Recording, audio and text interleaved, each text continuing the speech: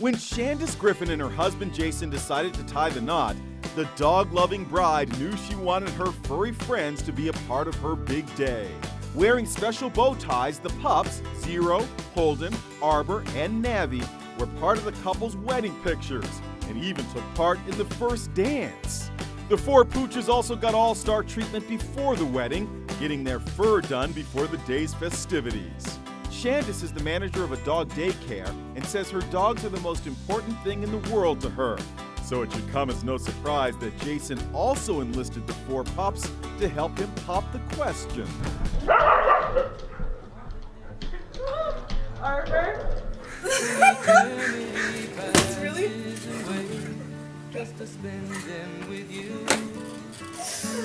Yes, of course. I love you so much. Be sure to watch Inside Edition.